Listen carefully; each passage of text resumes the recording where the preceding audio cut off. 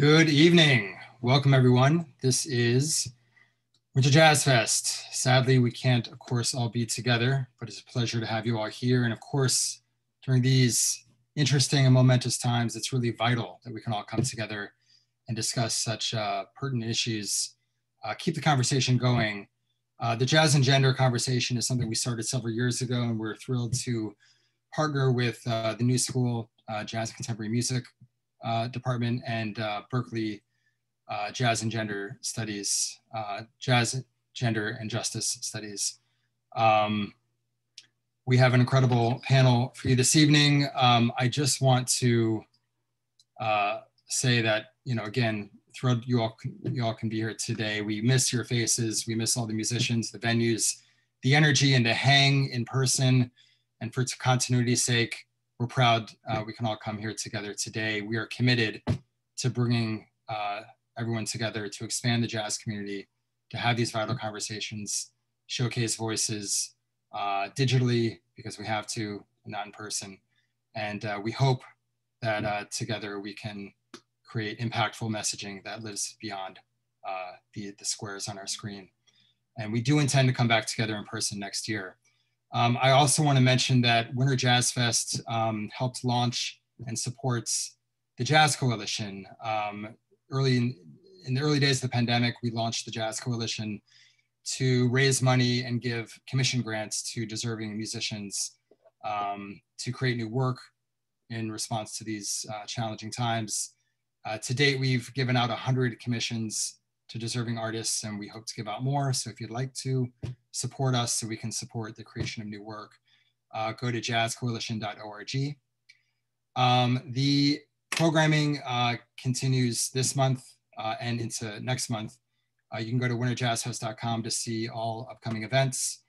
Uh, tomorrow through Sunday, we're happy to launch uh, a conversation series called Jazz Nerds, featuring Lalah Hathaway in conversation with special guests.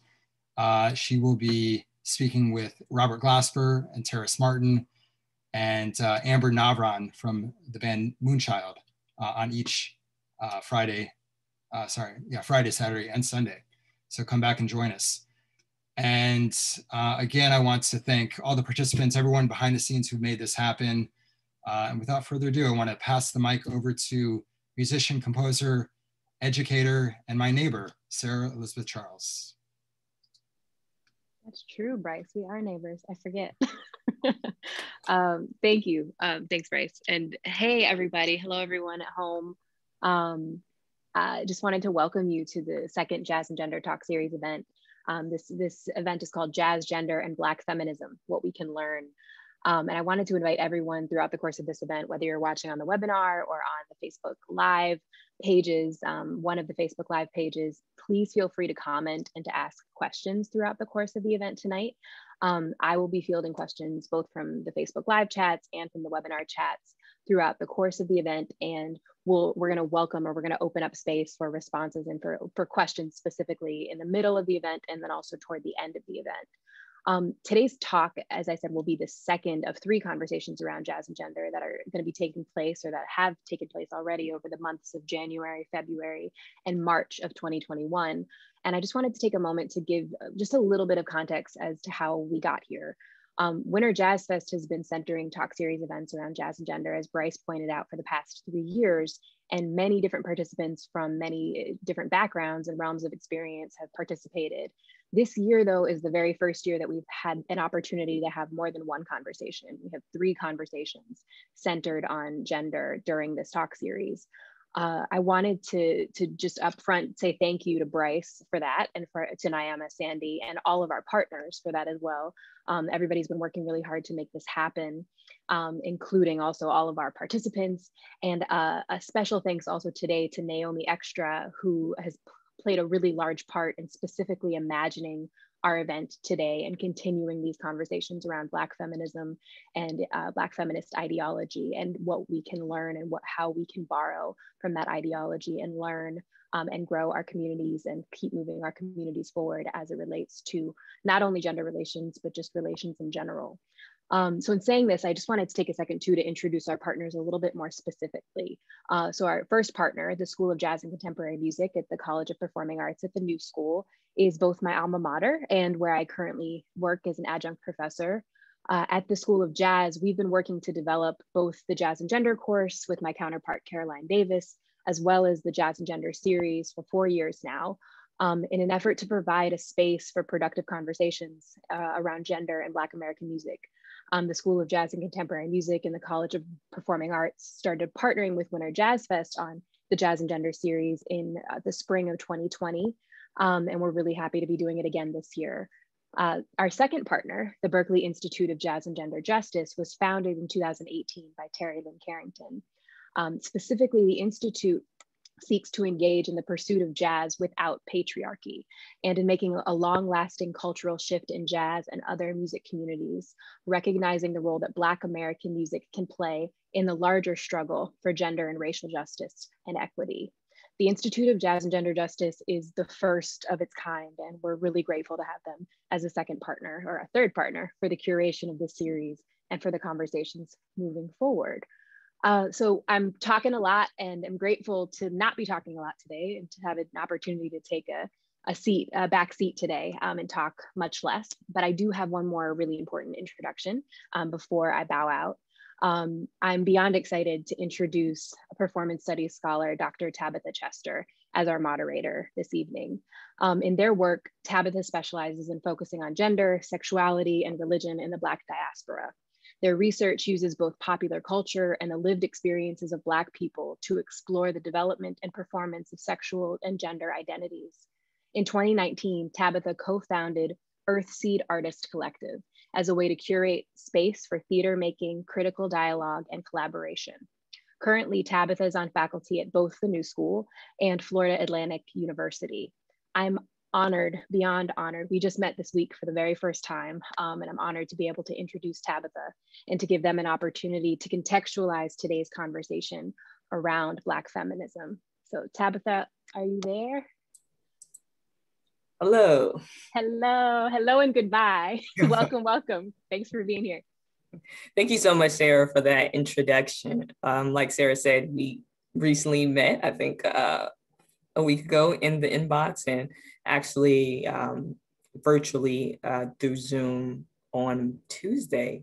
So it's been a fast friendship. Um, and so me and Sarah had some conversations about how she envisioned this event, how she envisioned my role in it. Um, and I thought thought a lot about the title of the event, right? What can we learn from Black feminism? I thought it was really important to maybe even just throw some definitions out there, put some some things in context. I know you really want to listen to your panelists. I'm just going to talk just a little bit to you. And I think some people are, a growing number of people are familiar with maybe feminism, right? The theory, the political, economic, and social equality of the sexes. Um, this is something that's, you know, been made famous in things like Beyonce songs, right? People might not have the same familiarity, familiarity with Black feminism, right? And I will argue, and many people argue, that Black feminism came before feminism. Uh, Black women have always had to consider their race and gender in their analysis and their lived experience since they came to this country. And so when I think about what we can learn from Black feminism, I go back to the statement of the Combahee River Collective in 1977. I just want to read um, just a part of it to you. Uh, the most general statement of our politics at the present time will be that we're actively committed to struggling against racial, sexual, heterosexual, and class oppression and see as our particular task the development of integrating analysis and practice based upon the fact that the major systems of oppressions are interlocking. The synthesis of these oppression create the conditions of our lives. As Black women, we see Black feminism as a logical political movement to combat a manifold and simultaneous oppression that all women of color face. And so, digging into that particular um, definition, me and Sarah created some questions that we wanted to ask the, the panel. This statement, this uh, this statement was actually one of the first places we ever um, seen the term interlocking oppression in um, in writing. And so when we think about interlocking oppressions, we're thinking about the multiple forms of oppression that Black women face throughout their lives and daily, and how those things merge in their identities and are compounded in their lived experiences. And so understanding when we're coming from analysis of how we can think through jazz and make jazz more equitable, we have to think about the multiple levels of oppression that people face within um, by their identity, Black women, people of color, undocumented people, et cetera, et cetera. For me, it's really important for me to look to the ancestors and think through the ways that they combat these some of these same issues that we're facing today. Um, and so fighting against erasure Remembering those who came before us are Black feminist practices that give us a framework to reclaim and remember the people that came before us and forgotten from history, as well as re-looking at figures, our institutions and movements that we think we know, but through a lens that interrogate the sexism, classism, heterosexism, and the multiple system of oppressions um, that are operating within those institutions, in those stories, in those figure lives. So this could be re-examining um, a figure like Billie Holiday, right? That we have often get, get a very patriarchal, um, one-dimensional story of this really complex um, legend. Our questions also deal with anti-capitalism, we want to frame this conversation in a way that we can rethink our relation to productivity and production right? How do we change the way we think of uh, claiming things? This is mine this is my work no one else. How do we how do we share the load? How do we share responsibility? How do we share art? And how do we also make sure we are paying black people paying people for their labor and not just really taking taking um, advantage of them important part of our conversation also centered on the idea of like getting free, right? So one one important tenet of Black feminist ideology is prioritizing prioritizing the most marginalized and the most vulnerable in society. How do we reorganize our society, our organizations, our family, our different structure to based on the needs of the most oppressed? So this means rethinking hierarchies, rethinking norms that we're giving, creating models that actually allows non-binary people, trans people, uh, undocumented people, disabled people to flourish. Um, and really rethinking again who we prioritize within these movements and within um, our art forms. One of the movements that we're probably most familiar with in this day and age. It's been called the most successful social movement of all time, uh, the Black Lives Matter movement. Um, and one of the things that a lot of Black Lives Matter activists um, got from Black feminist framework is the idea of collaboration um, in a decentralized approach. Um, and so creating room for building power and nurturing power and rooms full of leaders that allow all of our identities to inform how we organize. Um, looking for leaderful mo- movements, leaderful, um, leaderful models for success rather than often this one centralized leader or one charismatic um, artist. Thinking again, who we who do we bring to the top? How does racism, classism, colorism, all of those effects, the music we listen to, the people who get contracts, people who um, are able to play in jazz halls. And so these are just some of the questions and things that we're going to be dealing with today in, in class, not class. This is not class. I'm so used to teaching class um, in this conversation. So enough about me. I want to introduce um, our panelists. Our first panelist is, and so when I when I say your name, we're gonna do like a reveal, and then you can take off your camera. Our first panelist is Aja Burrell Wood. Aja is the managing director of the Berklee Institute of Jazz and Gender Justice. Uh, she oversees the day-to-day operation of the Institute and collaborates with founder and artistic director Terri Lyne Carrington on developing curriculum, programs, and initiatives in addition to teaching courses related to gender and justice in jazz and curating events among other duties. Uh, she's originally from Detroit, Michigan. Wood is an ethnomusicologist, educator, and curator with a background development in violin performance, she has taught courses on music history and culture in the City University of New York, City College, Brooklyn College Conservative Music. Her works includes research on musical community among Black classical musicians, women in jazz, jazz in the digital era, music and civil engagement in Harlem, and other related genres in the African diaspora, such as blues, hip hop, soul, and West African traditions. She's been a visiting fellow at the New School in addition to her role as guest lecturer at New York University and various institutions throughout New York City. She was formerly director of operation for the Gate Pass Entertainment and has been the associate director of special projects and public engagement for Wynton Marsalis Enterprises. She has curated performances for the Schomburg Center for Research in Black Culture for the annual Women Jazz Festival. She has also served as arts presenting consultant and dot partner for Harlem Stage, Weeksville Heritage Center, Revive Music Group, and the Sphinx Organization. Our second panelist is Toshi Reagon, described by Vibe magazine as one hell of a rock and roll, one hell of rock and roller coaster ride, and by Pop Matters as a treasure waiting to be found. Toshi Reagon is a one woman celebration of all that's dynamic, progressive, and uplifting in American music. Since first taking the stage at age 17, this versatile singer, songwriter, guitarist has moved audience of all kinds with her big-hearted, hold nothing back approach to rock, blues, R&B, country, folk, spirituals, and funk. The New York Times described her as a blend of love of mixing things, her vocal style ranging from a dirty blues moan to a gospel shout to an ethereal croon. Her live performances, in particular, aren't just accessible, they're irresistible.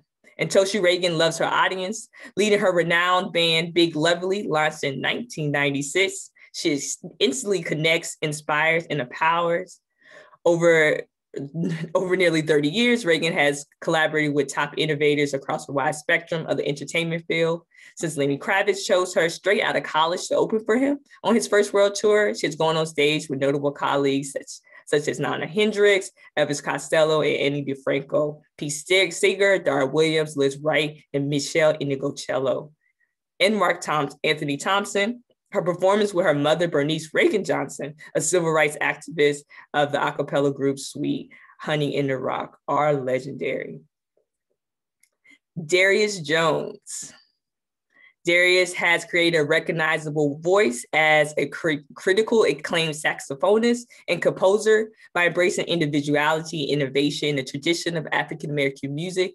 Jones has been awarded the Van Lier Fellowship, Jerome Foundation Commission, Jerome Artist in Resident at the Roulette French American Jazz Exchange Award, and in 2019, the Fromm Music Foundation Commission at Harvard University. Jones has released a string of diverse recordings featuring music and images evocative of Black futurism. His work as a new music composer for voice culminate, culminated in a major debut performance at Carnegie Hall in 2014. Jones had collaborated with artists such as Gerald Cleaver, Oliver Lake, William Parker, Andrew Cyrille, uh, Craig Ta- Taborn, Wet Ink Ensemble, and many, many more. Um, in 2018, Dar- Darius premiered across the United States a major new composition entitled Law and Order. Law, Law and Order, a dramatic commentary on social justice and American politics. Jones' music is a confrontation against ap- apathy and ego, hoping to inspire authenticity that compels us to be better humans. All right, everybody has their camera on. Everybody wave, say hello. Hi. All right, I'm going to ask our first question. This first question is for everyone. Um, I think we talked a little bit about how we come to Black feminist principle. I was talking to Aja and I was saying, I think I knew I knew more about the practice before I knew the name, right? So feminism growing up was a dirty, a dirty word. You don't be a feminist, you black feminist. But actually understanding what I saw in my parents and my mother and, and the women around me, I saw black feminist practice. So I really are is I'm really interested in how have black feminist practices helped to inspire and inform the spaces that you help create. So this can be musically, educationally, however you want to do it.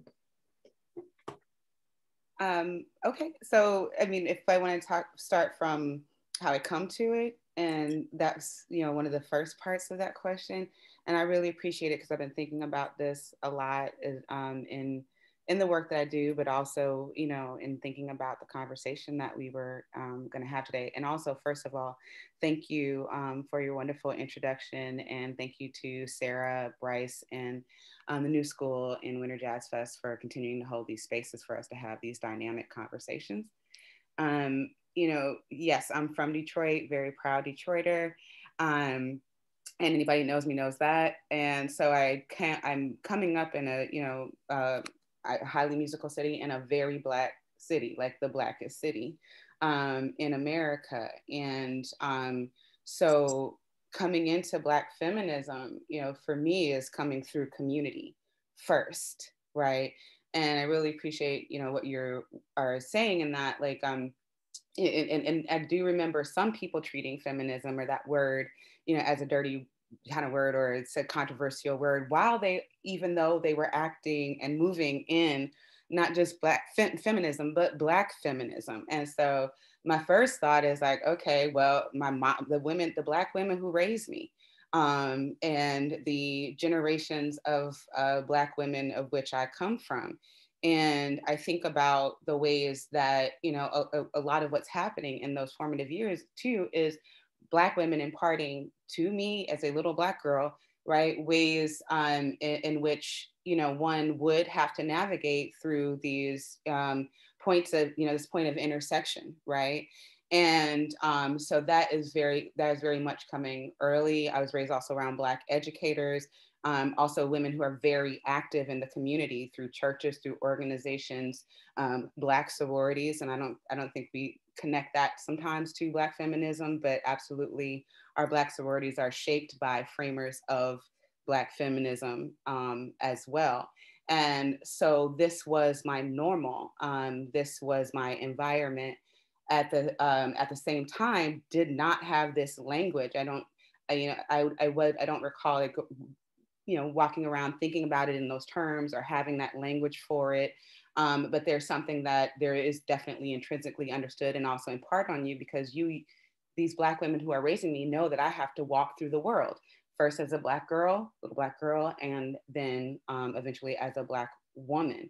So um, a lot of those lessons, a lot of that uh, thinking, just and a lot of the way they move their lives, and then of course later on and through education and um, and study, you know, you, you, I come to the framework. I come to the scholars, the activists, the artists um, who have been the articulators, who are the framers. And it's like, oh, okay, that's kind of what we've been, and maybe I've been experiencing the whole time or what I've seen, but then eventually, um, you know, are able to have the language for that. And I think I also benefited from, um, you know, being in a Black community, going to school in the Black community, with Black women educators and in that um, and, and all of the intellectual work that had happened previously so that, you know, for example, Black women authors, you know, that, you know, Zora Neale Hurston, that Toni Morrison, um, that, you know, Maya Angelou, that Nikki Giovanni would have been in my curriculum. I didn't think about how powerful that was, you know, until maybe, you know, later on in life and not as in like, as a part of Black History Month or um, you know, for a couple weeks uh, in English class, like this was the expectation and this was the standard. So I hope that answers that part. And so therefore, I'd say in um, the work that I do and the work that we do at Jazz and Gender Justice at, um, Ber um, at Berklee and our institute is very much informed by Black feminist thought. It is founded by a um, Black woman and you know, and, and, and this is our work and, and our contribution um, here in that in that work, but it doesn't. It's not able to exist without all of that that comes uh, before. But it's absolutely informed, and I'm um, glad to. I'm not glad why we need to be doing this work. Let me be clear, but I'm glad that we are able to do so, and um, and also able to do so now, in, in hopes of moving the culture forward, and um, you know, and making these lasting cultural structural changes.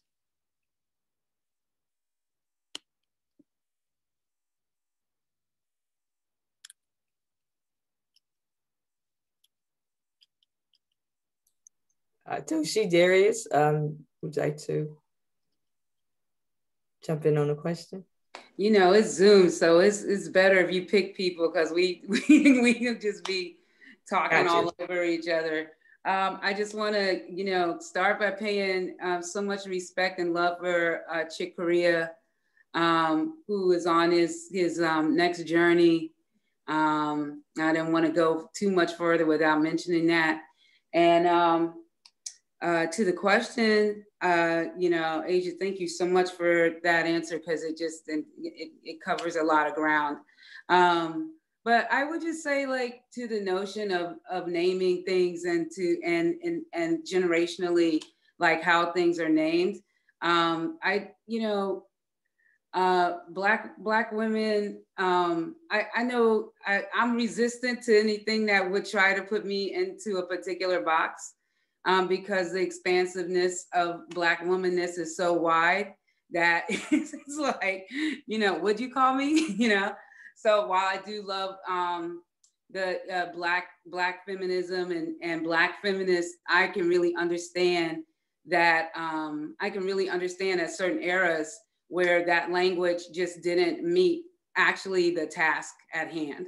Um, it, and that the task at hand and the innovation of of um, of black women skill set, love set, um, uh, nurturing set, like you know, agricultural, um, environmental, um, all of the things are actually what fed fed the name.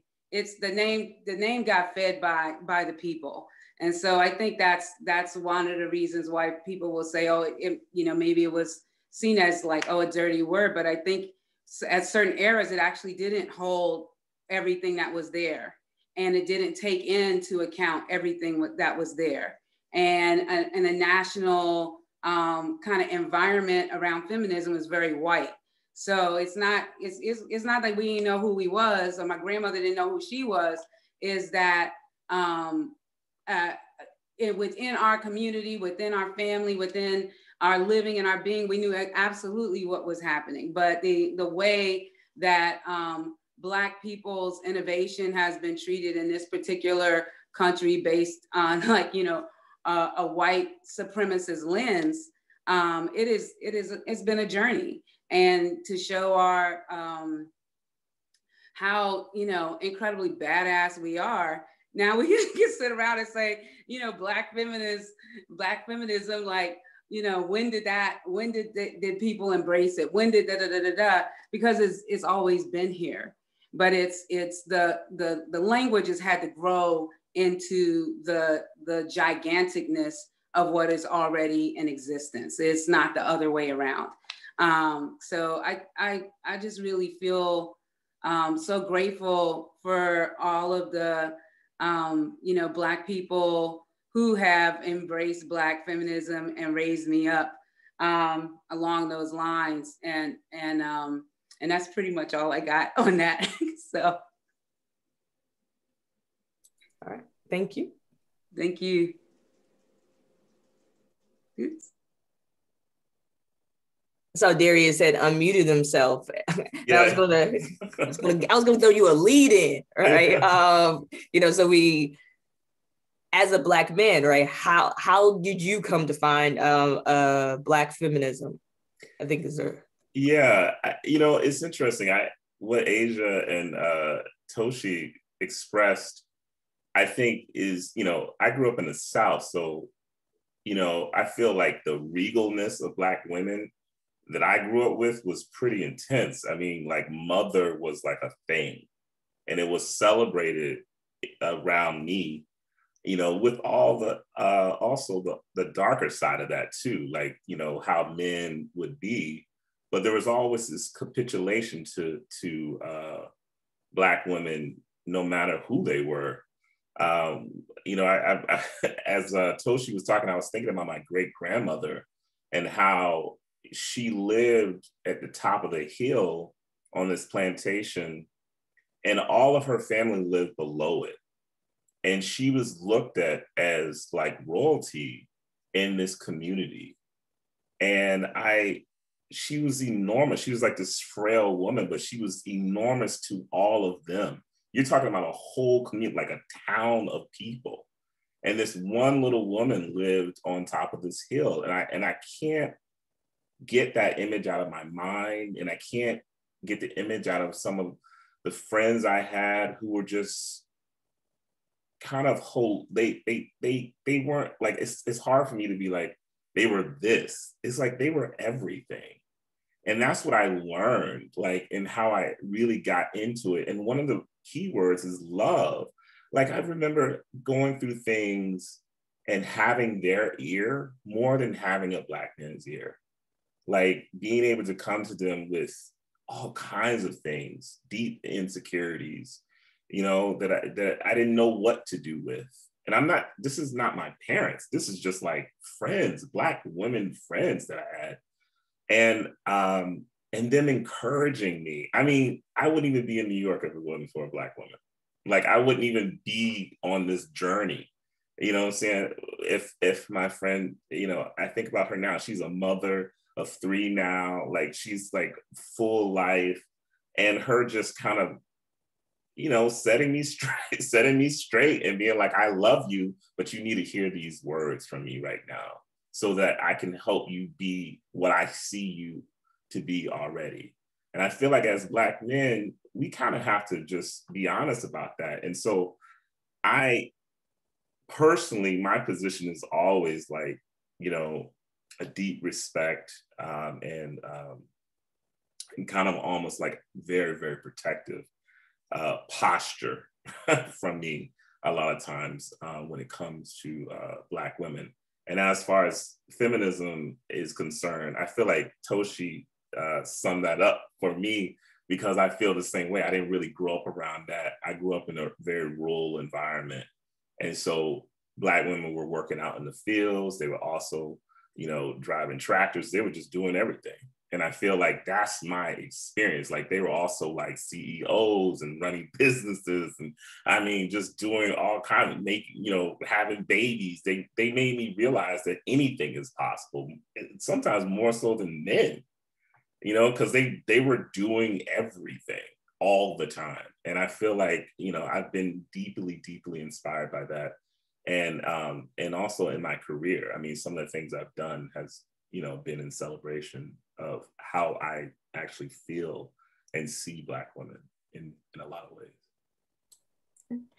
Actually, Darius, can you go a little bit further um, with that? I'm really interesting. How do those Black feminist principles, or those lessons that you have learned from these women in your life, how do they inform the spaces that you create, are in your classroom, in your artwork? How do we how do we see that in action? So, so the the idea of uh, of holistic the holistic nature of how to be.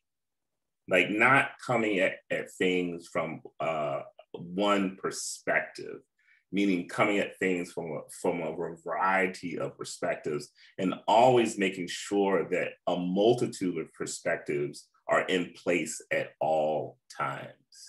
That's the thing that i learned uh, early and have been and it has been reinforced throughout my life. So, as an example, um, when I went to create a piece, uh, this is a perfect story. So, uh, my good friend Fay Victor, you know, had an experience that troubled her. And she said, you know, these people commented and said, uh, you know, this performance I did with these other women sounded like cackling or whatever, some vocal thing. And and you know, hearing her story and, and the distress that she felt in that moment, um, you know, I can't take that away. I can't do anything about it. But the reality is, it it spurred me on to create a project for four women and dealing with the idea of of birth, but not birth in the sense of how we see it here on earth, but the idea of unity the idea of galvanizing multiple perspectives. So the four women were bringing their perspectives, like from divergent backgrounds, together to actually create life. And so to me, that in a lot of ways is how I feel like in a, that's a principle. Like when you think about the holistic uh, concepts um, that Bell Hooks talks about. It's just like, it's all about that. It's like bringing all of those different components together to actually create uh, a more, um, I forget the word that she uses, but um, it's about creating a oneness within inside of oneself that is actually like broad and open. So, I mean, that's kind of what I'm doing. And I try to seek that out in the individuals that I work with and the people that I surround myself with, and also the organizations that I choose to uh, lend my energy to. All right, thank you. Um, for all the panelists, what does it mean for each of you to think about non-hierarchical models in the spaces you find yourself in? Um, how are you teaching and sharing information with the folks that will come next? We can start with you, Aja. Yeah, um, I think a lot about that, and um, and and definitely try to center um, these principles in my work. One of the things I think about is uh, power structures, how to um, help and facilitate uh, uh, the, the, most egalitarian environment and you know possible. I think um, you know definitely traditionally in our education systems, I think in the United States, for example, um, there is absolutely that hierarchy there. I don't come into um, my classes as as a professor. I don't step in as um, you know, omnipotent, all knowing, I cannot be challenged. You know, um, of course, I'm coming from an area of expertise, of area um, of lots of many, many years of hard work, um, like anybody else, um, sweat equity, all of that. Um, but at the same time, I'm not, I don't seek to create environments where students cannot challenge me or they cannot, or they do not feel that they can contribute from their experiences from their perspectives. Um, I also try to, um, as best as possible, see ways in which I can help foster and create community in class. Like, how can we see um, this class, any class, any semester, also, how can we also function um, as a community? Uh, you know, don't just look at me, look at who you are in class with, um, how, you know, how, and and um, how can we move forward in this material um, together. Uh, that's one of the ways, um, being as collaborative as possible um, in my work environments with my colleagues. How do we partner? How do we also thinking about like divisions of labor, right? You can even think about in your work environment, whatever that work environment is, and something that is far too often, is still far too often happens is you know, a bulk of the work or a lot of the work will fall on the shoulders of Black women in work environments. And it will also become invisible labor. It will become sometimes free labor. That's not right.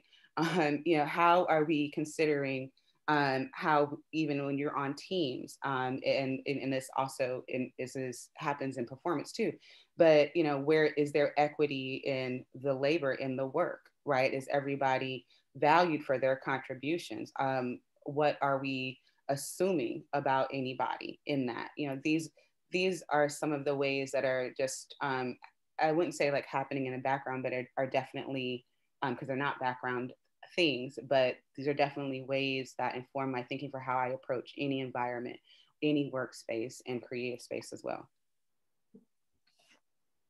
All right, thank you, Aja. Mm-hmm. Um, so, Toshi, um, I'm also interested in this too as well, um, particularly when it thinks that when we think about folks who come behind us, how do we create models? Um, I know you've been doing some really amazing work with Parable, um, touring internationally. Shout out to you. Um, but how do we also make sure other artists have these frameworks or these models so they not necessarily emulate, but have these possibility models and understand how to get into certain certain places in their in their artwork? I mean, I I think there's like you know hierarchy everywhere, um, and I don't know that all of it comes from like a bad place. You know, I I mean I think the the country is is is was created. The economy of the country is created in such a severe and violent way, um, like dominated by white men, and for hundreds of years. And inside of resistance um, and cultivation, you know, there's there's a hierarchical structure of leadership. There's usually when someone is creating a movement, there's a hierarchical structure inside of the movement, and it's not it's not even um, you know somebody started it, somebody created um, you know some people created Black Lives Matter, like that was an actual creation, you know, and we know who did it. Like so, it's it's it's um, the cultivation of, of kindness and generosity, the, the cultivation of creating systems where um, multiple voices can be heard and where the, the actions um, that are created are considerate of all kinds of people who have all kinds of capacity. That's, that is a new thing for this country.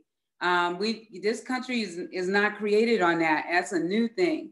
We are like babies in it, and and and I'm so grateful for a lot of the um, movements that have come along because each one has pushed pushed us towards a new way of thinking about our togetherness. And um, in terms of you know, most of my work is congregational work and it's not all always centered around a stage. I'm always thinking about um, I'm always thinking about other people. I'm always excited about other people, and I'm particularly excited about people younger than me.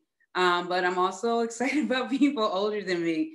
I I just always feel like I can learn something from everybody, and a lot of a lot of my work um, is based on, especially with Parable, um, setting up systems for what is already there in communities that we go to, as opposed to like, let us come in and bring our Octavia-ness to you and tell you about it when we know almost every community in America has some somebody who is already familiar with Octavia's work, is already using Parable of the Sower as a tool, whether they be an academic teaching it or whether they're an artist or you know whether they're a kid like starting to write their own stories so I I love to take advantage of that. I and when I have resources, I love to fund that. Um, when I don't have financial resources, I offer myself. is there anything we could do together? And um, we are a long way from you know. Uh, I think you know getting rid of some of the harmful hierarchical ways of existence, but I have to say every generation of um, you know, people that come, I feel like in movement work, um, particularly around a Black um, BIPOC, queer, trans, um, all, all kinds of people, those movements seem to have at, at, at a base that there should be a very wide circle of voices heard with like with consideration of like the language we're going to use to talk to each other and bringing in more things. If you look at the civil rights movement, there was not necessarily a, you know, a, a food justice movement attached to it or a climate, you know, awareness movement or a save water movement. But like almost every room I'm in, the intersectionality between our issues um, actually brings more equality inside of groups because that's different people who know about all the things that we actually need. There's no one person that knows everything. And I think that that generational pull and then more inclusivity among the people who are in rooms and the issues that we all need to be concerned about. Thank you. Darius?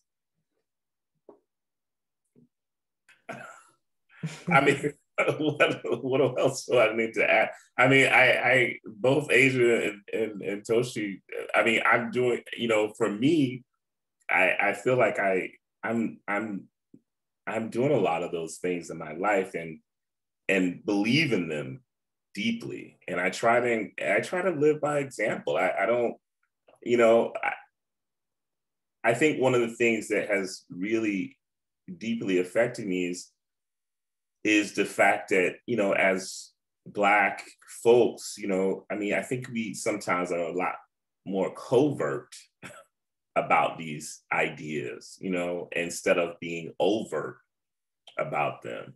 Like we we're in our little silos and we're doing our thing, but we're not actually being as overt. You know, some people may be some people, but I don't think these ideas are uh, as foreign to us as we like maybe like people to think they are or something like that. But you know, it's like in our communities be like, yo, blah, blah, blah. But it's like, I think sometimes we're like on some, you know, in the closet vibe, you know, on these issues. And, and we actually do believe in this stuff because we were raised, you know, in a certain kind of uh, environment. And I'm not saying everybody is like this, but I, I think the thing that for me that has deeply changed is just like being more and more overt. Yes, I do social justice work, but it in my art and I and and and the things that I do, I go out there and I challenge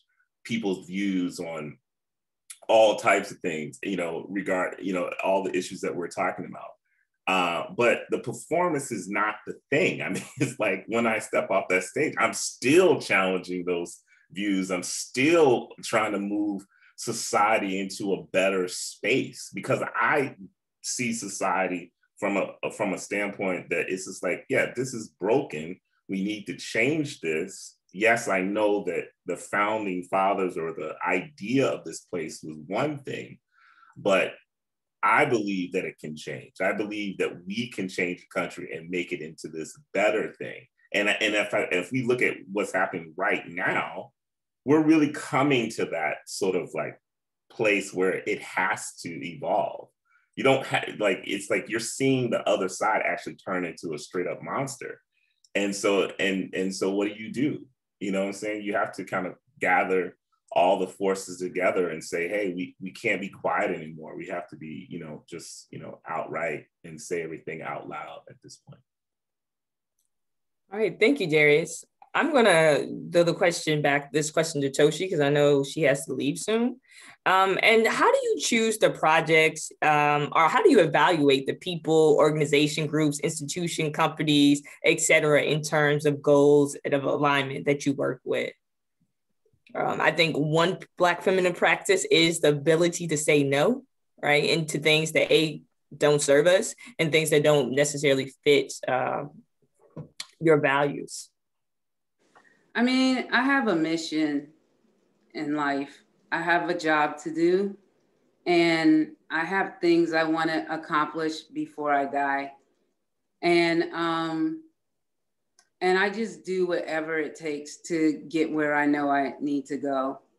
And I have worked with some shitty people um, to get something that I want. And I have worked with some incredible people inside of awful institutions who are, you know, kind of doing what Darius just said, like going to work and then like, you know, figuring out how to inch possibilities, uh, make a way out of no way. And um, and I've worked with wonderful people who turn out to be assholes. Like it's just like I work with people who have gotten a job and don't know how to do their job. But you know what? We gonna get this show done. We gonna get this this thing built. We gonna we gonna educate these children. Like you know, it's it's you say I say no when I when I think I might die, and I say no when I think I can't accomplish my mission, and I say no when I when I don't see how to get through, you know, like the bullshit. But I will say, you know, I've been on projects, I've been on a project where I got fired up on a project three times. And, you know, I left and I was like, that's it. And I got on an airplane and my ancestors jumped me and were like, well, where are you going? And I was like, I'm going to Chicago. I'm not even lying. I'm on a plane listening to some music and they're talking to me. And they're like, oh, you're going to Chicago because this project was about an elder, right? And and they were like, you're going to Chicago. And they were like, where are we? And I was like, we on an airplane. And they're like, what's that?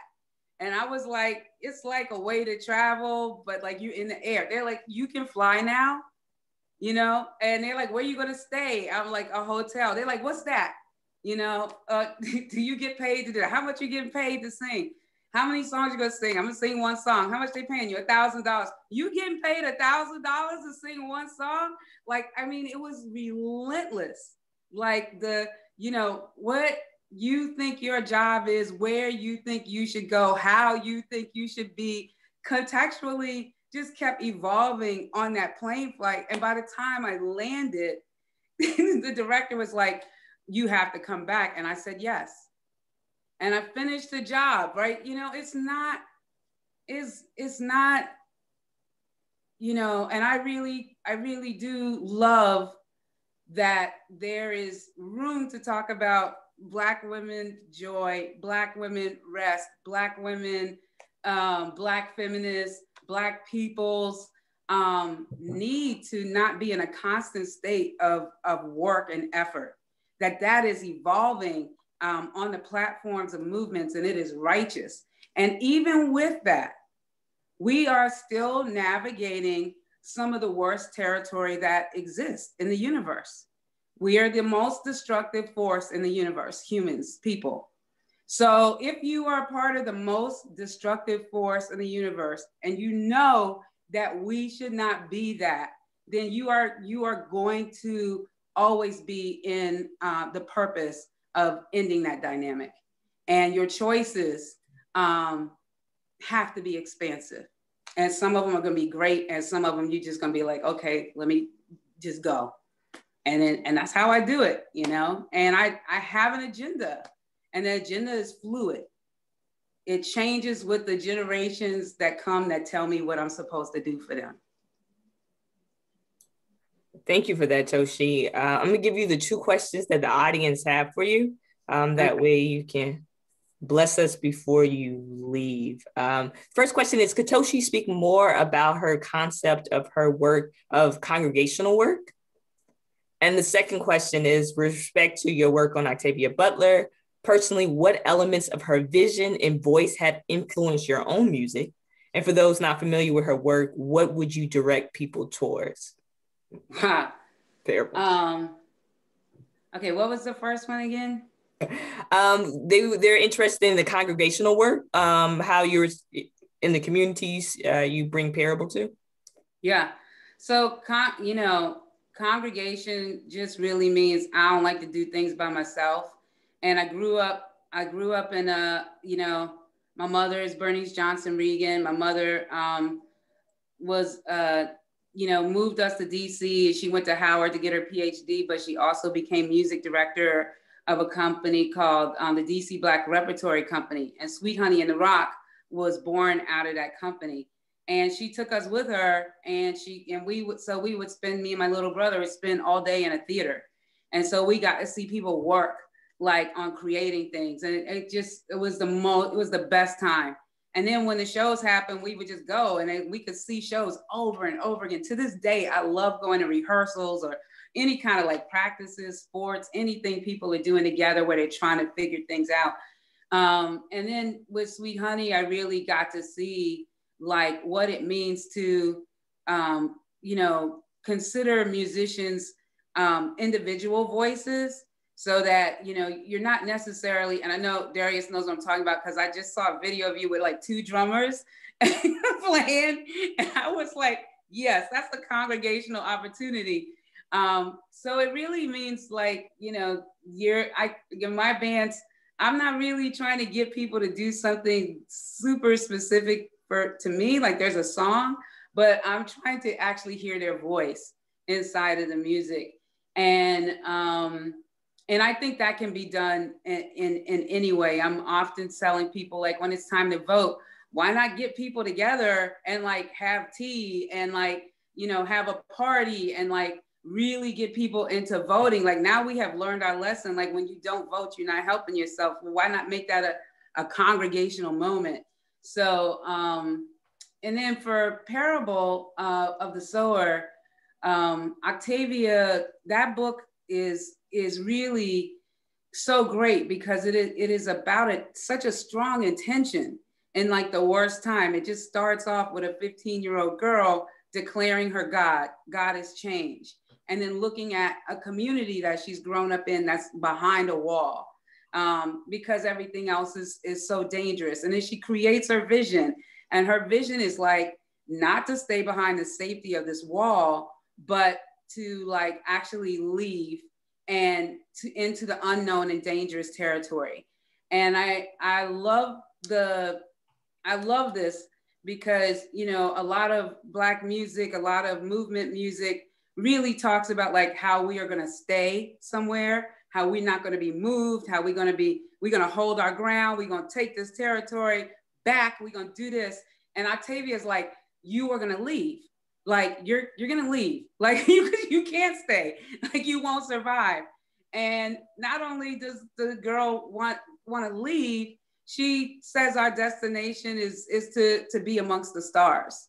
Um, so that just you know I already I always say, but we are amongst the stars already as a planet. Um, and this is the only planet for us, no matter what they tell you. This is the only place humans belong in the universe. We don't belong nowhere else.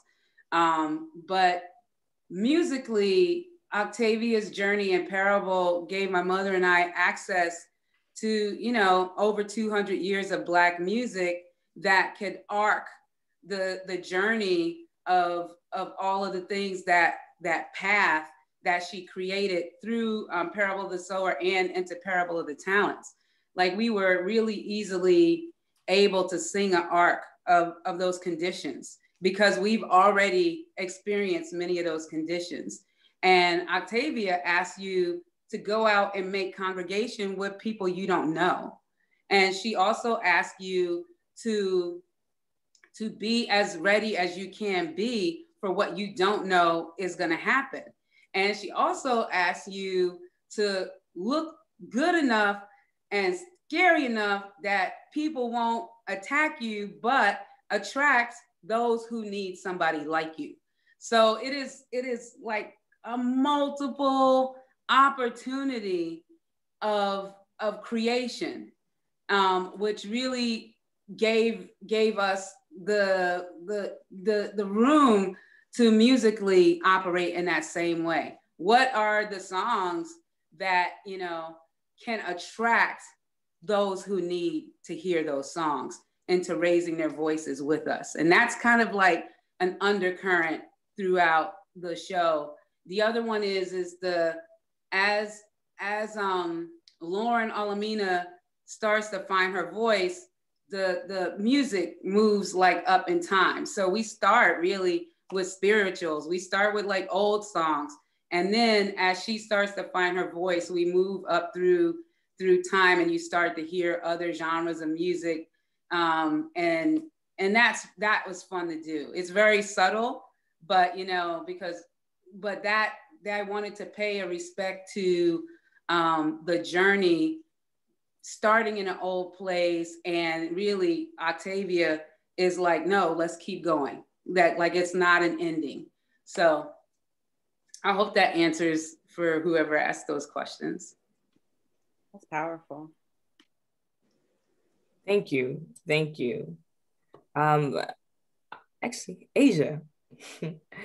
um, thinking about all the things that Lauren had to go through in her particular world. Um, what have you, this to all the panelists, but I'm gonna start with you, Aja. What have you had to unlearn in the process of reflecting on your identity, maybe your goals during this pandemic as we're going through these very turbulent, turbulent times? What have you unlearned or rethink that was possible, perhaps? Huge question. Um, one, I just while it's you know, it's just I want to say just circle back a little bit to Toshi, I just really appreciate the distinctions that you are um, voicing and um, and in your work, and thank you for that. Thank and, and this is just that's very the distinctions of mission oriented, being mission oriented, the distinctions of congressional or congreg, you know, and being in congregation and that being part of work. So I just want to say that because um, that's resonating with me for for sure. Um, unlearning um, I I think I think that um, you know, of course, I think before the panorama, before this pandemic, um, uh, and, and, and, and during, and I think after, I think it's important for us in, in many ways to be constantly, as much as we can, in states of unlearning. And when I'm saying unlearning things that are, that do not serve me, that do not serve us. And, um, and there are ways too that I think that there are things or tools or um, that things that serve us at a per- certain point of time that then we come to find that when we get to a point in life or a season in life or things like that they do they know they just no longer do. So you know i kind of bless that send it on its way and try to embrace um you know what's new for me. I think um i also think unlearning is hard um I, I there's ways i think it's easier to learn something than it is to unlearn uh, something. Because mm. often when we are in the practice of unlearning something, we're unlearning something that's maybe even quite calcified uh, within us. Um, to me, which is a, a, much more challenging process than when I'm coming from a place of I don't know, let's explore, let's see what I, you know, and I'm learning something from the ground up that's hard um, but it always has been for me a point of my best growth. So i think for me and what have i been experiencing in um, this pandemic um, is uh, going back to the idea of community and how and and also that's i'm i'm a person i feel like i will never be outside of community. I will never operate outside of community. And so how do how, how does that function now and in this space where um you know I, I where we are being socially distant um right? And but i think more what i've learned more that is that um no we are necessarily being physically distant um but i haven't been socially distant.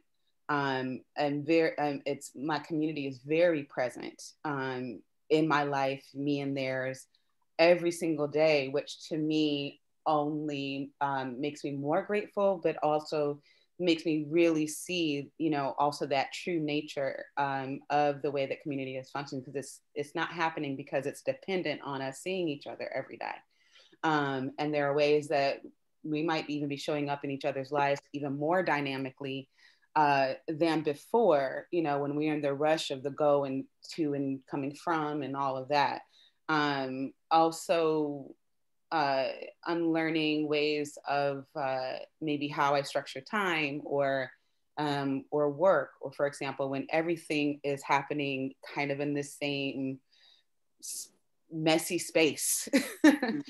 um, uh, where you're zoomed out, where you, you know, where I used to have like a separation, like if you're physically going to a space to work and you're physically coming home, there's something in that separation, you know, mentally, um, emotionally, or what have you. So, how do you break that up? How do you um, set up boundaries and um, and reinforce them so that you're still um, taken care of? And and and I know we talk about self care a lot, but I really do mean that. And um, and uh, and, and so maybe there are things now that I can see, oh, maybe that was kind of a bad habit. And so, um, and maybe I don't even need to do that. So I try to think about the things that I'm, uh, um, like, what will I leave in this pandemic?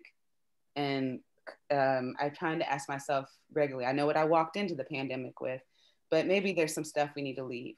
And I'm, and I want to try to do that.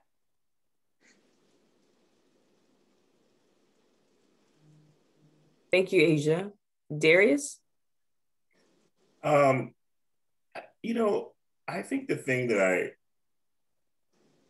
had to unlearn was the idea of performance. Like, what is performance? I mean, when your gigs get all canceled and then, you know, you have to get on, you do these Zoom performances and they don't do the same thing and you then you start asking yourself why. Um, and i had this epiphany recently about what it is that we do as artists and our job is to gather. Is to gather people is to gather souls together. You know i mean when we go out there and step on a stage, it's almost like a call. Like we're called, like I know we show up and there's an audience, but in all reality, it's just like, I think that's the unnatural element of what we do that we were doing before. I think in all reality, it's just like people in the force making sound together and people coming to the sound and having an experience with that sound and and and and then there you create community within that sound. And then people have an experience and then they decide to come back to that sound at some point or they choose not to come back to that sound. But it's like almost like it's like this sort of like vibrational thing. And i think when we don't have an audience what are we really you know, no one's there, I, I find myself wanting to just commune with the individuals who are there in the room with me, which is the musicians. I find myself not even wanting to act as if this is a performance, but to be like the the pygmy, to be like the person in a tribe, to be just like here we are together. Less like you know cry out to you know, whomever, you know, to the stars and have a moment together and commune. And the thing that I keep thinking about with this pandemic is like, it's making you, it's making me, I should say this, it's making me reevaluate that even more and making me think about ways to just do things with individuals that I love that mm-hmm. have nothing to do with uh, a destination that has nothing to do with like, oh, we're doing this to get somewhere. It's just like, I'm just doing this because I love you cats and I love the way you sound. I love what's going on with you. And I want to just do this like with us right now. And can we do it again next week or whenever you're ready? You know what I'm saying? And I and I and I just I just I hope that that we can do more of that on the other side. You know, it's just like than we did before when we were so busy and we really didn't have the time and whatnot. Because I, I, I think that that's really special. And I think we need to stop, you know, when we do go back to performing, I think we need to reevaluate what that is. I know I'm going to do that from this point on, really look at it very differently and almost try to structure it differently. Um, you know, because I've already, I try to do that in some ways, but I think, like I said before, I'm going to be more deliberate with a lot of, of my actions going forward. All right, thank you, Jerry. It's, I'm you got it, Toshi. I feel like you, you got something in your spirit. Yeah, I do. I was just thinking, you said unlearn, but I just want to say what I learned. okay, tell us what you learned. Um, I learned. I learned that I don't like pandemics. And I learned me too that I was like, I I don't even uh, I mean we were and we are doing parable in a room of 1800 people and I got hugged by at least 200 of them and kissed and everything and and I I'm so grateful that I didn't get COVID but I I just like had such a great fear of just the basics of existence because this thing operates on the basics of existence of just like what we know about living. And I was like, oh, that doesn't work. It, it doesn't work to go outside. It doesn't work to get on an airplane. It's like, like everything is dangerous. Like everything is dangerous. And that that was just I didn't do any music the first two months except for like sang at a couple of funerals, and I had to kickstart myself. And the other thing I learned about was adrenaline. Like I really didn't understand my the machine, my machine. Um, the Toshi Reagon machine is it runs at a high speed, and I don't mean like I'm like busy, but like like if you think about when an engine of a car goes and they say like you know it's four cylinder, six cylinder, eight, 12 like I operate with a, like a, I'm a gigantic car. I'm like a tractor or something. Like and to, like watch it just kind of like a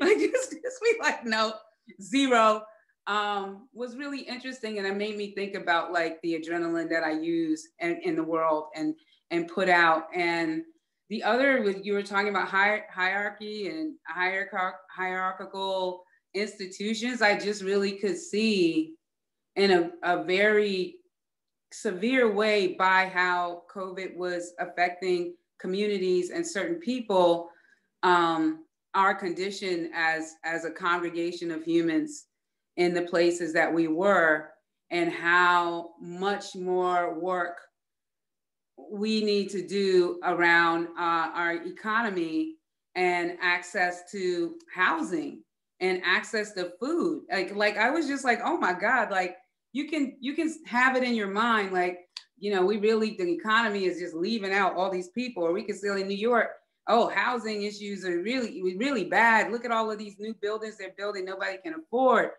But the octavia's world comes out of conditions like this. The most horrific places come out of conditions like this.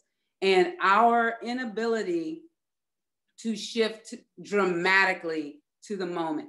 Not not just be loving and caring and and extend empathy but to to shift dramatically to what is happening. That some people are using covid to like kill people and to get businesses and to do this and using the fact that it's there. And i was like how can we use this to actually advance out of the dystopian narrative that would actually work for people like the last administration and a lot of the people who are still in power. So I, I was like, what is the big thing to do? What is the dramatic shift to actually uplift and um, and make change and accessibility and to raise issues? And I think we saw what happens when that dramatic shift happens in response to the to George Floyd, that we change the narrative. And I think this idea of like the other side the other side doesn't exist. There's not no other side. There is a continuation. And so i think i i'm gonna jump off of this after saying all this shit. But what, what I, i'm really sorry because i should stay. But um what i want to say is like that that is not that that push uh, that dramatic shift, that that those gigantic steps of change are the beginning of ongoing possibilities for us. And it does not have to be 2024, we are sitting in Octavia's world. It actually could be 2024, we are getting a hold of this country. We are getting a hold of our position on this planet. We're getting a hold of what it actually means to live. And yes, you know, Black feminism, Black women, Black art, Black people, Black everything. But the, the coalition of humanists the coalition of humanity um, needs to actually understand what this moment is about. And it is about our transition as we are on this planet. And peace. and mic drop. no mic drop, just like handing, handing it off to the, the brilliant people who are still going to be on this call. yeah, yeah. I love y'all, everybody. Thank you so much. Thank you, Sarah. Thank you, Bryce. Thank you. Thank you. Thank you, Toshi. Thank you so Thank much. Bye. Bye. I think along the lines of where Toshi is that we have a question from the audience. It says that it sounds like the panelists are optimistic that this way of thinking, being in the world, is entering center stage now. Is this true that they think this? Um, could you say more about it? Um, you know, it, it, and I, hi Tracy. Um, yeah, so optimism. Um, I think as a person, uh, you know, I am, you know, I'm generally optimistic. I think that is about um, more so being hopeful. I think, you know, I think of, you know, ways of, you know, talking about like Black joy is um, is resistance, right? And and so optimism is also similar, uh, you know, for for me in that. Um, it's that so the being in the world is you know that it's I'm, I'm reading this it's, that is center stage now. Um, I um, I am hopeful. I am hopeful that the ways of thinking that really have, as we've talked about, you know, already um, um, today and kind of established uh, right away, that um, this it, it's this thinking is not new. This thinking is, um, and people, uh, whole entire communities have been operating based off of this um, for generations, right? Uh, you know, for generations. And um, so this is now intergenerational understanding, intergenerational knowledge, um, much as similar to what, you know, Darius was talking about in his experiences early on. Um, so I want, you know, when I think about like center stage, I mean, who stage? Um, who stage? Uh, I am um, hopeful that, you know, of course, as a society, as a culture, um, that we have um, more of a listening for it, more of um, and also, uh, what Black feminism teaches us is centering the voices, prioritizing the voices of, of those who are in the most marginalized positions. And with that, I would also say, be you know, the uh, giving giving them the space, the resources, um, and the listening. So I'm hopeful that that happens more and more and but only but that only harkens back to generations before me when you have Anna Julia Cooper and then later, you know, Fannie Lou Hamer and essentially, you know, we uh, none of us are free and you know in, until all of us are free, right? This is how do um, I'm interested in a liberated stage, you know, I'm interested in the liberation, right? And and and how um, principles of Black feminism helps get us there. And, and yes, I'm hopeful um, that we're moving, uh, you know, more boldly and boldly in a continuation, actually, though, that, but that we're moving more boldly forward. But I also don't necessarily think progress happens in a linear fashion um, in, as much as we would want it to be. Um, but I do know we have the tools and the principles to carry on um, no, in, in the face of anything. I hope that answers the question. I think so. Uh, Darius? Um, you know, I think if I was to just add anything to Aja's thing, I feel like, you know, uh, I'm optimistic that people understand the importance of voting inside of the system. You know, it's just like I feel like Black women have been saying for ages vote. They have been putting their life on the line to encourage people to vote, to show people the importance of voting. And Black women have been trying to get Black people to understand the importance of voting. And I think the thing, if I was to say anything about it, is just like we have to continue to vote. We can't say, oh, we we we got rid of this maniac and now we're done. It's like, no, no, no, no. We have a lot of work to do. And I hope that people understand that and really listen uh, to all those black women, you know, uh, uh, to, uh, Aja uh, brought up Fannie. It's just like it's not just Rosa Parks. All of them, they were just trying to get us to understand the importance of this. And I feel like if we as a community at, at this juncture turn our back on the on on on actually showing up voting. I love the thing that Toshi brought up about, you know, getting community, whole communities together and doing little parties and stuff on voting day. It's like, yes, like we have to do this to save not this country, but mm-hmm. ourselves mm-hmm. from this country. You know, and they're gonna try all kinds of crazy shit to keep us from not voting, obviously, but we can overcome it. We've done it multiple times and we could do it again at this point, they've shown their evil hand. We see it. Now we have to show uh, uh, the hand that we have, which is something that is actually beautiful. And I feel like we've been showing that in sort of microcosmic ways, but I think it's time for us to hit them with the macro um, way so that we can actually, you know, uh, affect major change. Right now, you know, you know, we made a little dent, but it's it's, it's not enough. We got to keep going. So yeah, that's my position. But we we've been told you sign sign black women. yeah, black women have been saying it for a long time. So yeah. Mm, I appreciate that.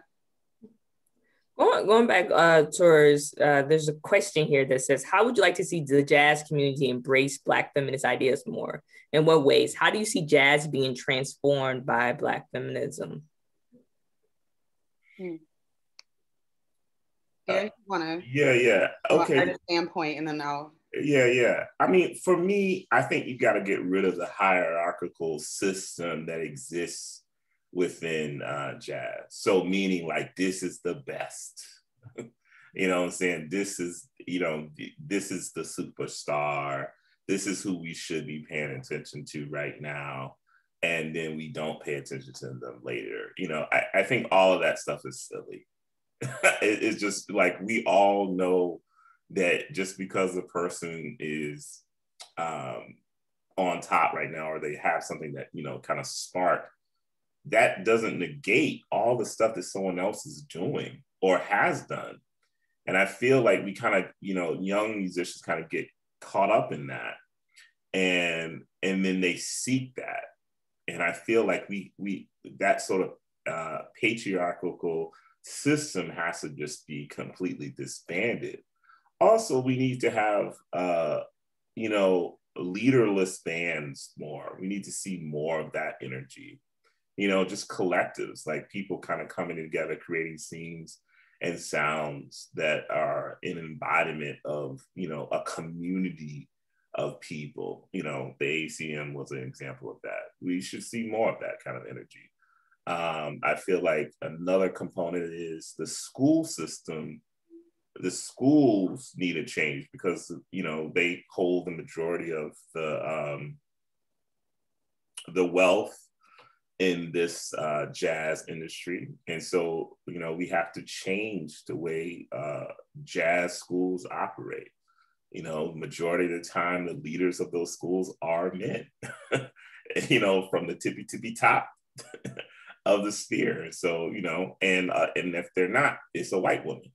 And so it's just like you gotta, you gotta like, you know, black women should be all up in that. And black men and black people, black folks, period, all of it. It should just transform. And I believe that if we transform that, a lot would actually happen um, for uh, the jazz industry as a whole. Also, you know, it disturbs me that we literally do not have any Black female writers, you know, talking about this music, working at major uh, papers and stuff like that. We don't have Black women critiquing the music enough. Um, and I feel like that would be a, a huge help. You know, we need we need their perspective. I mean, we get it at shows and stuff like that. But I feel like, you know, it would be great to get it on a major scale. So.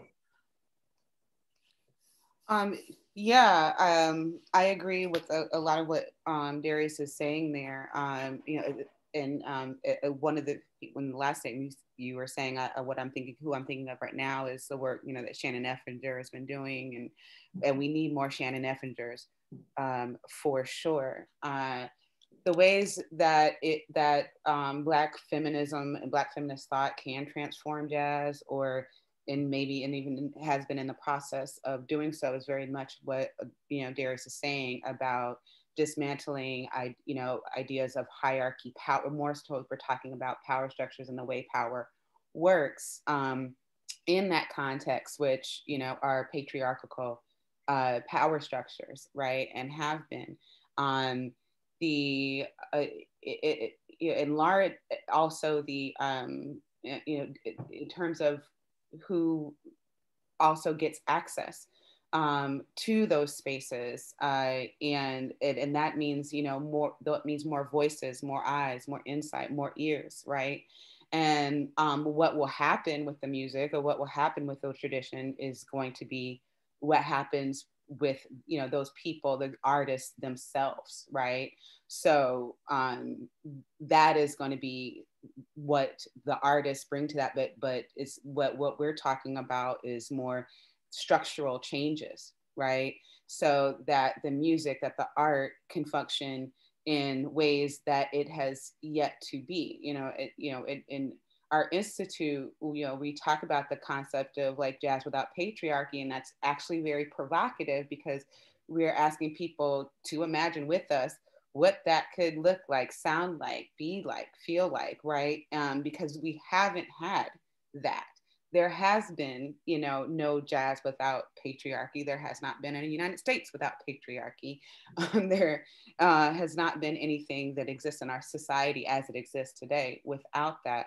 Um, so in fact, we're, you have to you talk about the unlearning, but also um, imagining, reimagining, but you know something that has not existed, um, but is absolutely and entirely possible.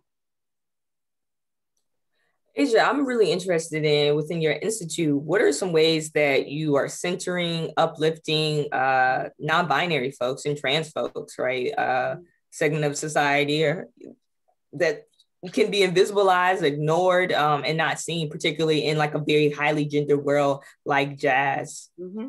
Mm-hmm.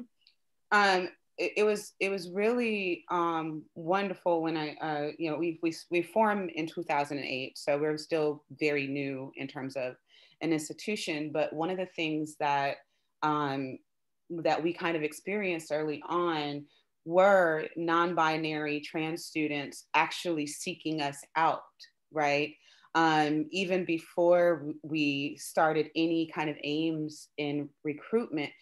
And um, I was so heartened by that because it's, it's, it was students seeing, you know, they saw the announcements, they saw that this was going to exist, they saw that, um, you know, eventually classes are going to run, be courses are going to be running, which they do now. We run about six ensembles. Um, we have uh, Terri Lyne Carrington, Kris Davis, Linda Mahon O, uh, Val Jeanty uh, running our ensembles. I teach courses, um, you know, as an ethnomusicologist, I teach out as more liberal arts oriented courses, so jazz, gender society, African American music history, all of that.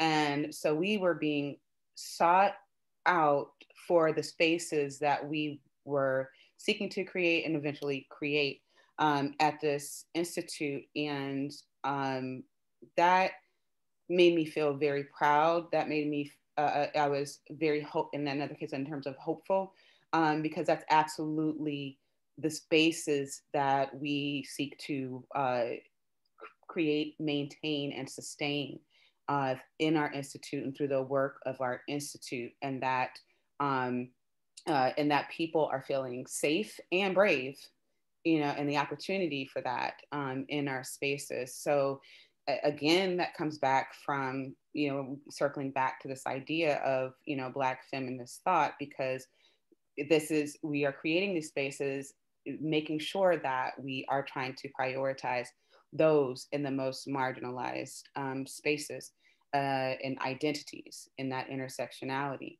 Um, and then we listen right? And I think that's something that Black feminism and music obviously shares, like the principle of listening, right? And listening first. So it's not for me to say what the a trans student, a non-binary student, um, 100% needs, right? It's it's for me to also and for us as an institute to also listen and be constantly uh, listening um, for what type of experiences they seek, what type of experiences they are having, um, you know, what's working, what's not working, all of that, uh, so that we can um, provide that, support it, uh, and also shift, move, adjust where we need to, right? And then eventually, it, and, it, and it absolutely ends up benefiting everybody. Um, the other thing I've noticed, you know, in, in that kind of idea, you know, um, none of us are free until all of us are free. I've also noticed with the cisgender male students um, uh, within our institute also voicing that um, are you know coming into our ensembles coming into our um, spaces feels different and more freeing for them that they don't feel the need to or the pressure of you know performing a certain type of masculinity on top of you know an often toxic masculinity on top of um, all that performing requires music requires jazz requires like these are young artists seeking to master this art form that's hard enough. Like there's enough heart in that. Um, and i think any jazz artist would tell you there's enough heart in that. So even for those um, students that identify that way. Um, you know having to do that and then have to try to master this and then try to have to perform a certain type of masculinity on top of that um, they're exhausted they're exhausted right? And who's got time for that? So um, this is these are some of the things that we've been up to. And again it's been not very long but we have like grown grown by leaps and bounds um, since day one. And i'm looking forward to uh, every you know all the other things that we will be up to to continue to push this forward and again make that um, lasting cultural shift. We are up to the work of transformation. Thank you Aja um, I think, yeah, students now are just way better at articulating and having the language uh, to talk about their different varied experiences of gender and how expansive it, it, it is. I think shifting uh, to artists, so Darius, get ready. It's a long question. You ready? Um, artists are well acquainted with the grind, the hustle, and the consensuality to be commodified in order to survive a capitalist world. How much agency do you think artists can have in this effect? This beautiful vision of abundance and shifted focus on why and how we come together as we continue to strive for our value and sweat equity as the world reopens.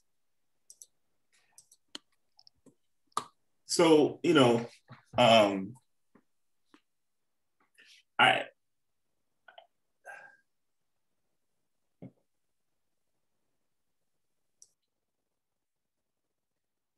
I'm not sure. I, you know, I think the whole grind thing is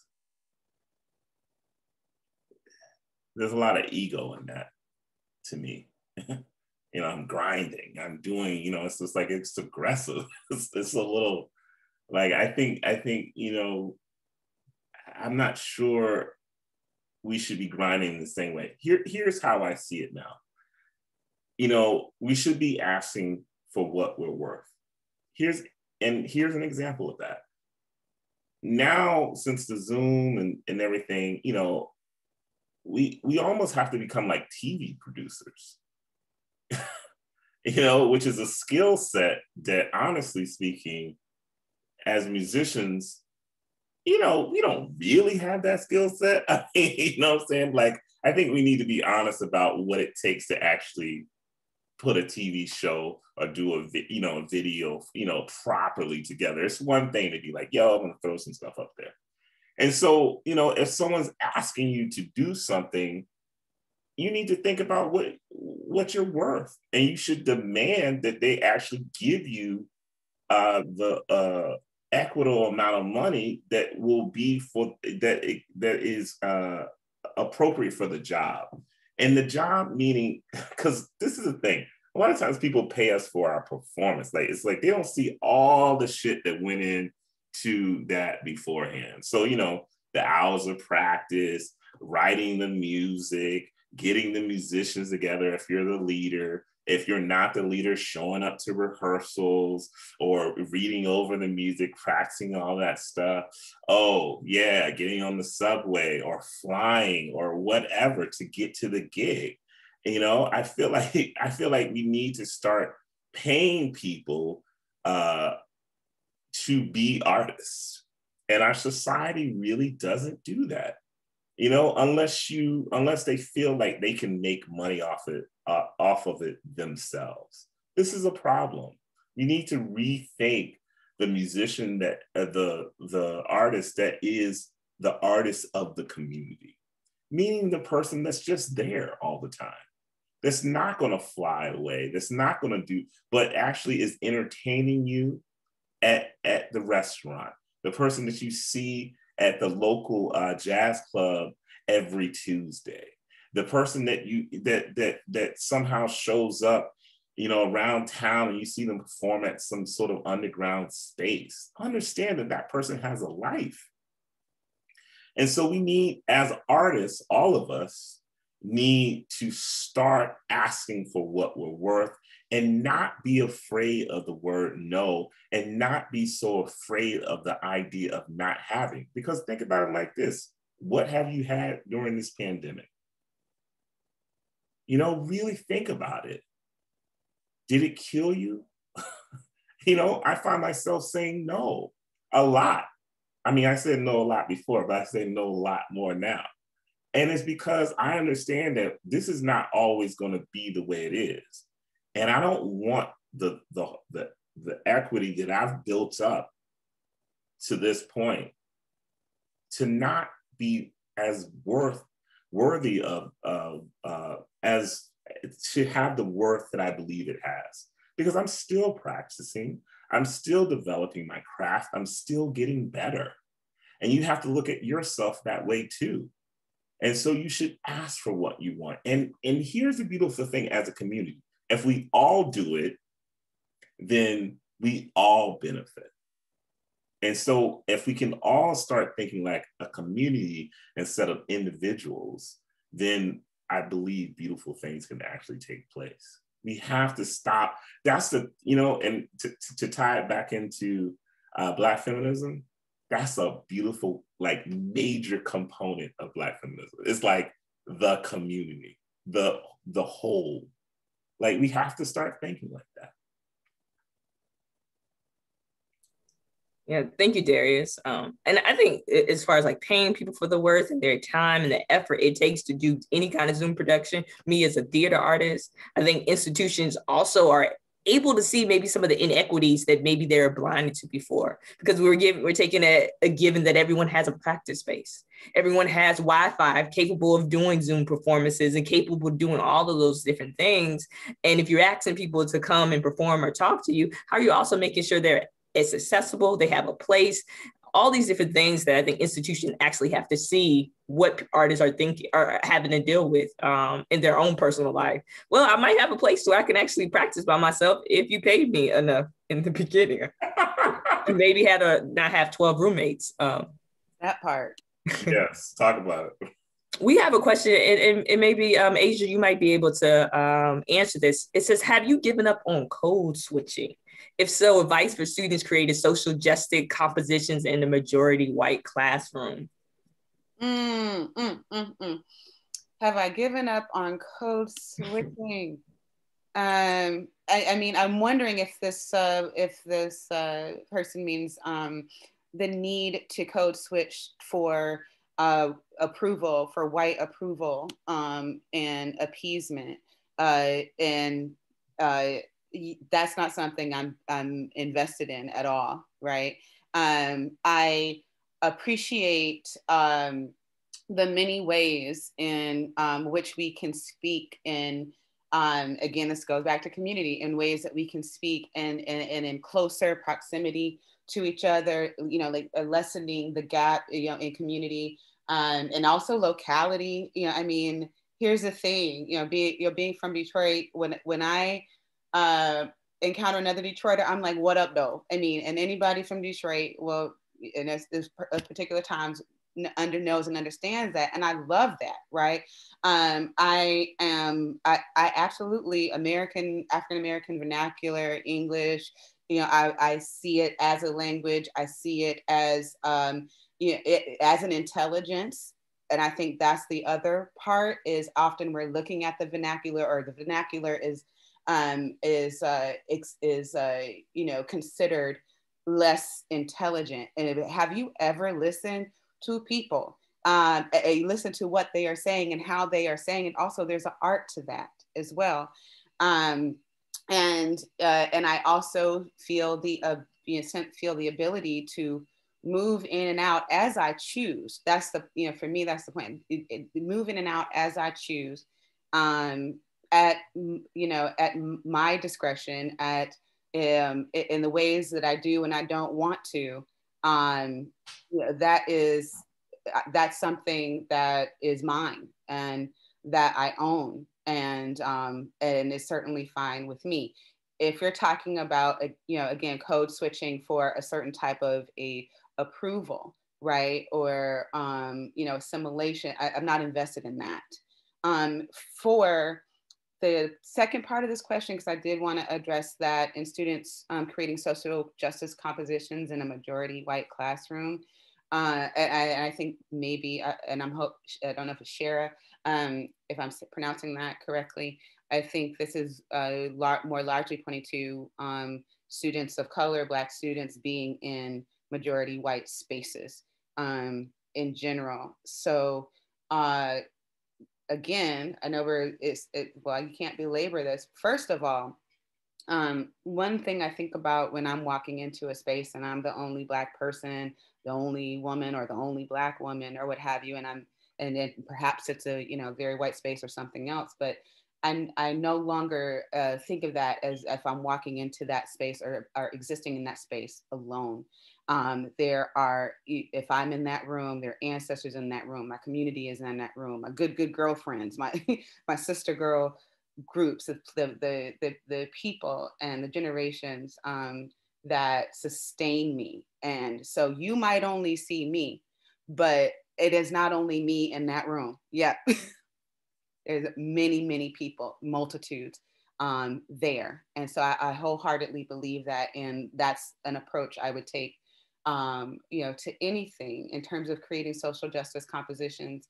Um, it, that's it, that's your aim, that's your purpose. Toshi spoke to us so powerfully about um, being mission oriented and what's that's meant to her in her work. I, I think you know, do it and and understand that you know, and which I think you would all because somebody that's asking this question would already understand. Maybe that's received, maybe that's not received um, uh, well or not well, I don't think it's a reason to not do it. Um, but also, where are you connected? And where are you? Um, do you have community? Are you creating community? Are you are you um, facilitating that? Are you fostering that? Because when say that non-well reception, or if that non-well reception uh, happens, you have a community to reach out to, to support you, to discuss even what happened, how you feel any of that, right? So um, I, know that I'm kind of going about this and answering it, responding to it in a, in a different kind of way, but um, that's those are some of my questions and looking and you know listening to uh, this question. Um, but if that's your mission, do it, and I hope that you have. Um, uh, you, you continue to create community and draw from your community because that will sustain you no matter where you are and the work that you are doing, what space, when, no matter the spaces. Thank you, thank you, Aja. Uh, I think when you're talking about the beauty of African American vernacular English, I'm always thinking about like you can tell which uh, companies don't have a black intern, but they're trying to use black American vernacular English. Um, the claps are all wrong when they're doing like trying to do the clap back. Like there's rules into this. You just can't though ain't this and think it makes sense. Like we know we didn't write this because we understand what goes where, how, and the rhythm to it, the musicality to it. Mm-hmm. Darius, you you want to jump in about code switching? Um, I mean, man, Aja nailed it. But you know, I think the thing I would add as a person who is a part, uh, a professor at a predominantly white institution, uh, new school, uh, uh, you know, it saddens me that a student feels the need to change themselves when they walk into uh, an all white environment. Be- and I say that because this you predominantly live in an all white environment and you have to be maintain the integrity of self when you walk into that environment. So as Black people, I know we've we've done code switching, we talked about doing it, and you know our parents may have encouraged this behavior and whatnot. But I think you know we can let that go at this point. I think for me, after seeing a man die with another man's knee on his neck for nine minutes, it did something to me personally that even now, just thinking about it, I almost want to cry because I shouldn't respect you in the same way after that. I should I should look at you as a as a, a man or, or female or, or, or whatever it is that you are, a human to human, and I should I should command the same respect. You should respect me and respect my ideas. And so I feel like as Black students, you need to walk into the environment with confidence, even if you're facing a white teacher or facing a, a predominantly white environment. If you want to do social justice work um, and it fits into uh, the nature of the class, do it. Do whatever you want to do. You're free. Don't let someone actually shackle you. You're standing on a foundation that will hold you up. And I can tell you this as, as a Black faculty member in a, in a predominantly white environment, we're going through the same thing. We're, we're fighting the same battle. So you should understand that you're not alone. you are not alone. When you see our faces, you should understand that we're fighting that battle too. And that should encourage you to, to be even more determined to actually express yourself freely. Don't, you know, don't let this this country take away or some environment uh, make you feel inferior or less than. Don't allow it to happen. Don't entertain it. Like block it out your mind and walk into those environments free and alive like you would wake up every morning. I think I feel like I might need to give a collection here. Y'all preaching to us today. Maybe I'll just throw some ties in there. I think for our last question, I'm gonna kind of combine three questions, and so you, whatever your spirit tells you, um, you can you can respond to. First one is how can we imagine the future? What is the future for jazz? what is the legacy we are leaving? Um, we have a question from the audience. Says, how would you continue to spell community spread, not spell, spread community beyond the pandemic? And the last question is Do you think we can create jazz without patriarchy within capitalism? I think there's some ties between all three of those questions. So that's why I gave them to you all at the same time. Well, um, one, I, I think it's for the artist, you know, so that, uh, you know, that where, you know, jazz, the, the future of jazz and where it's going, you know, that is is you have to center the artist in that. So that is not, uh, I, you know, I'm not a jazz artist. That is not for me to determine, right?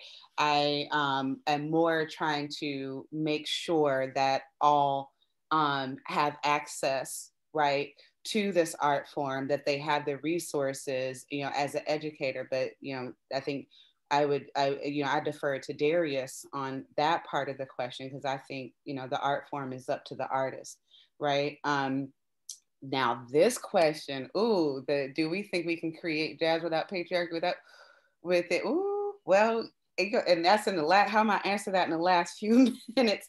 But will I will say this, framing it back again with um, Black feminism, because Black feminism is pointing to you know these these intersectional I um, um, existences, right? Of of of you know multiple experiencing multiple oppressions, right?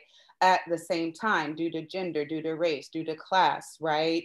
Um, you know, due to sexuality as well, and you know, and on and on. And and so, but also understanding that all of those things are created by the same system, right? And that system is imperialist white supremacist patriarchy to you know really name names there so a, capital you know and, and then that and capitalism is within that structure too.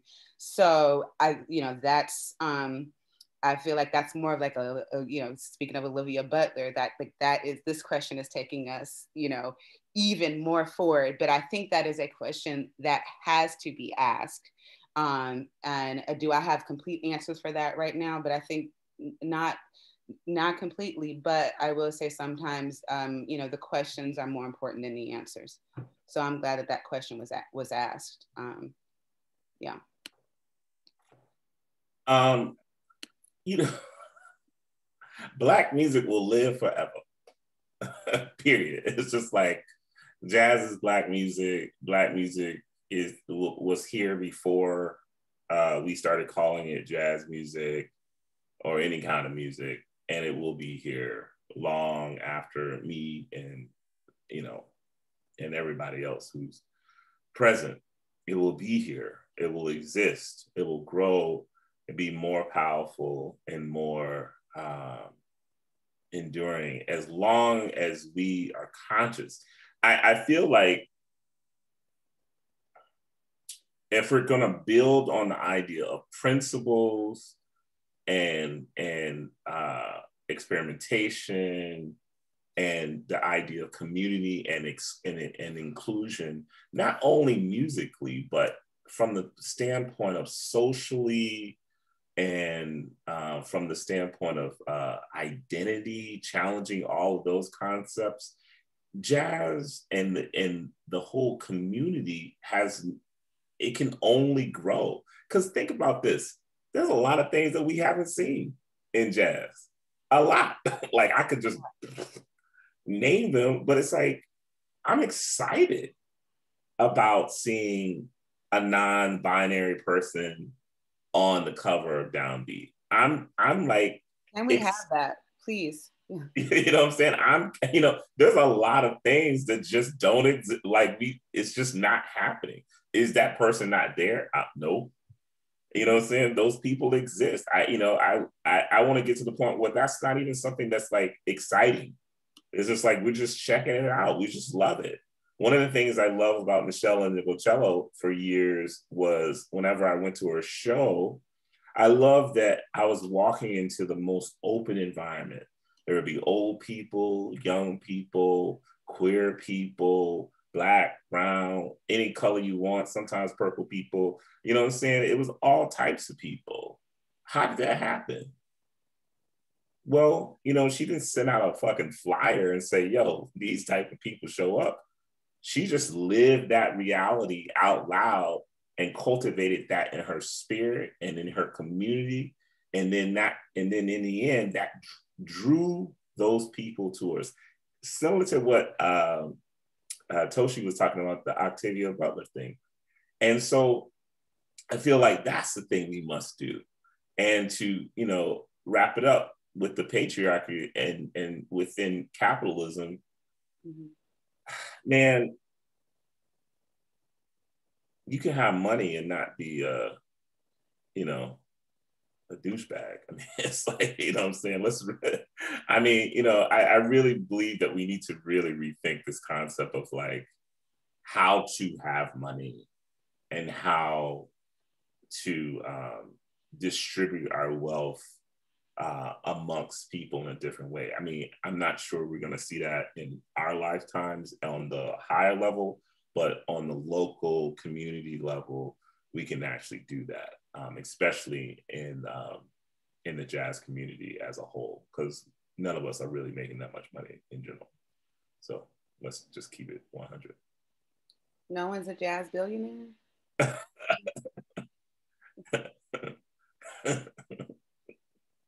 no. Mm-hmm.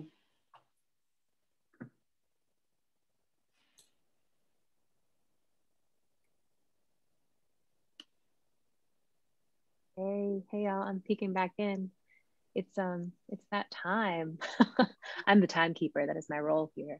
um I'm finding myself um feeling like really uh, emotional right now and um I just want to thank everybody like really from like a really deep part of me for being here today. Um, Darius, Aja, Tabitha, Toshi, um, thank you, thank you, thank you. Um, and to everybody who asked questions too, I want to shout everybody out. Tracy, Shara, Caroline, Nicole, Adrian, thank you for engaging. Those of you who didn't ask questions, thank you for being here, for being present. Um, this is so important, and this is the first time I've been a part of this kind of conversation in this sort of space. Um, so here's to more of these conversations in these kinds of spaces and other spaces and cultivating and creating our own spaces. Um, thanks Winter Jazz Fest, the School of Jazz, Berklee Institute of Jazz and Gender Justice. Um, I'm sure that there are folks from all of those communities and from all of our collective communities who are present here today for this event. And um, yeah, it just, it means the world to me. And I can only imagine how much it means to everybody who's been watching to hear all of you share your experience, strength and hope um, uh, and all of the rest of it. So thank you, thank you, thank you. Um, I'm gonna, we're gonna, I posted a few of the tracks that we played at the beginning of the event because I forgot to do that at the top of the event.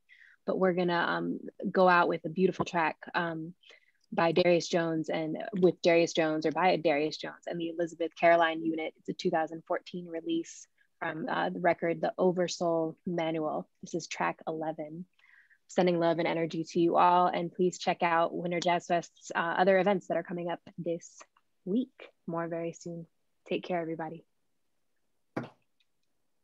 Thank you. Thank you. Thank you, Tabitha, Darius. And Thank you, Tabitha. You were great.